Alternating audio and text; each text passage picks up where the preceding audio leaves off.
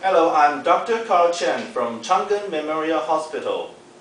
Today I'm going to demonstrate to you how caudal epidural injection can be performed using ultrasound guidance.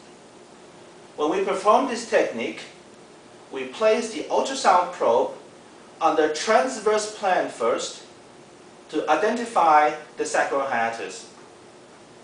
Under the transverse plane, you can see the base of the sacrum, the sacrococcygeal ligament lying on top of the base, and the opening of the sacral hiatus in between.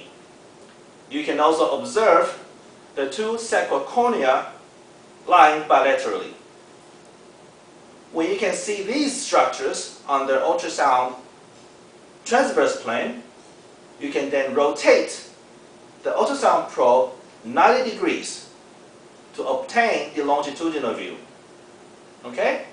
And it's under the longitudinal view in which the caudal epidural injection can be performed. I will demonstrate all this to you later on. Thank you.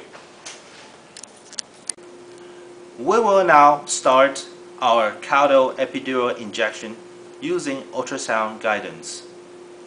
The patient is placed under the prone position. Pillows or additional towels can be placed underneath to increase the pelvic tilt. As I mentioned before, first of all, the probe of the ultrasound should be placed under the transverse plane to obtain the transverse view of the sacral hiatus. When you obtain the transverse view of the sacral hiatus, you then rotate your probe 90 degrees like this to obtain the longitudinal view of the sacral hiatus. It is under this longitudinal view in which injection can be performed. Thank you. This is the transverse plane ultrasound image of the sacral hiatus. As you can see here, this is the base of the sacral bone. This transverse structure here, that is the sacrococcygeal ligament and lying in between these two structures is the sacral hiatus or the opening to the sacral canal. And these two hyperechoic structures over here, they are the sacral cornua lying bilaterally in regards to the sacral hiatus. Thank you.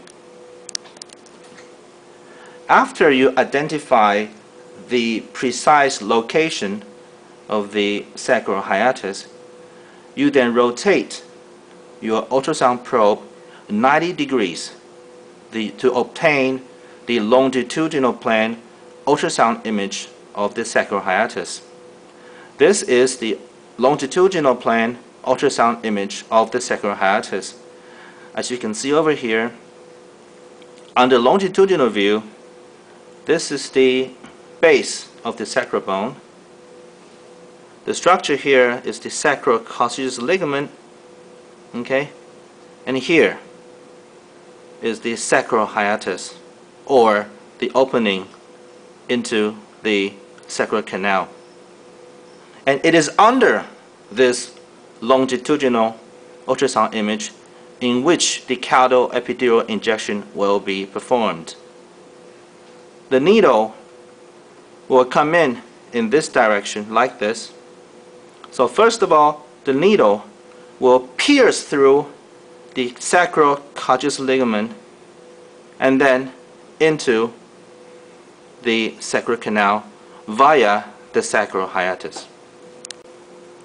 We will now begin the caudal epidural injection using ultrasound guidance. As you can see here, this is the longitudinal view of the sacral hiatus. We will now insert the injection needle. Please watch.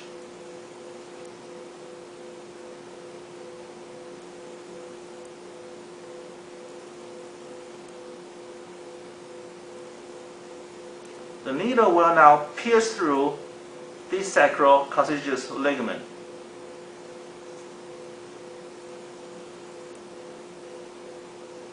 Okay, so you can see here, the needle is now in, inserted through the sacrococcygeal ligament and into the sacral hiatus.